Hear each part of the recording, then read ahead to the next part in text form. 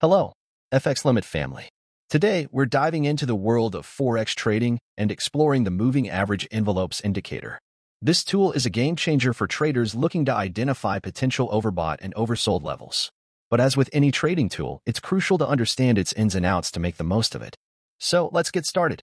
First off, let's talk about what moving average envelopes are. Simply put, this indicator involves two moving averages that create a band around the price action of a currency pair. These bands are set a fixed percentage above and below a moving average. The moving average itself can be of any type, simple, exponential, or weighted, and the choice depends on your trading style and the specific market conditions. Now, the key consideration when using this indicator is setting the right percentage for the envelopes. This percentage determines the width of the bands and it's crucial because it affects how often the price will touch or cross the bands. Set it too narrow, and you'll get a lot of false signals. Too wide, and you might miss out on valuable trading opportunities. The ideal setting varies depending on the volatility of the currency pair and the overall market conditions. Another important aspect is the choice of the moving average period. This will define how sensitive your envelopes are to recent price changes. A shorter moving average period will make the envelopes react faster to price movements. But again, this might lead to false signals. A longer period will smooth out the price action, reducing the noise but potentially delaying the signals. When the price touches or crosses the upper envelope, it could indicate an overbought condition, suggesting that the currency pair might be priced too high and a reversal could be imminent.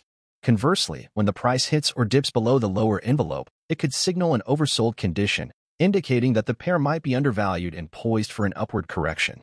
But, and this is a big but, don't rush to make a trade as soon as the price hits these envelopes. Why? Because in strong trending markets, the price can hug or run along the envelope bands for an extended period. This is where combining the moving average envelopes with other indicators, like the Relative Strength Index, RSI, or Stochastic Oscillator, can be extremely beneficial. These additional tools can help confirm whether the touch or breach of the band is a true reversal signal or just a temporary blip. Another pro tip is to watch for crossovers. When the price crosses the moving average within the envelopes, it could signal a potential change in trend direction. This crossover can provide an additional layer of confirmation, especially when combined with other indicators and analysis techniques. Now, let's talk about timeframes. The effectiveness of moving average envelopes can vary significantly across different timeframes. Day traders might prefer shorter timeframes, like 15-minute or 1-hour charts, while swing traders might look at 4-hour or daily charts. The key is to find the time frame that aligns with your trading strategy and stick to it. Last but not least, always remember risk management. No indicator is foolproof, and the moving average envelopes are no exception. Always use stop-loss orders to protect your trades, and never risk more than a small percentage of your trading capital on a single trade.